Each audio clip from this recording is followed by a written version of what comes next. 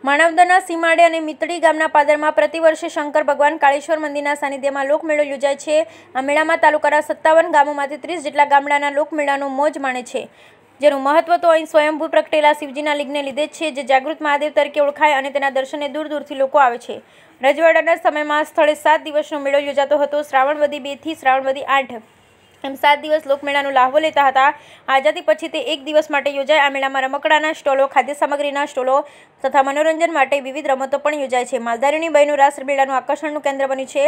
આ મંદિરે આખો શ્રાવણ મહિનો ધાર્મિક કાર્યક્રમોનું આયોજન મંદિર તરફથી થાય છે, જેમાં પણ અસંખ્ય લોકો ઉમટે છે. મુખ્યત્વે આ મેળો મનોરંજન સાથે શિવજીના દર્શન અને ધાર્મિક ભક્તિ રૂપે યોજાય છે. Bureau report Jignesh Patel, Manavadar.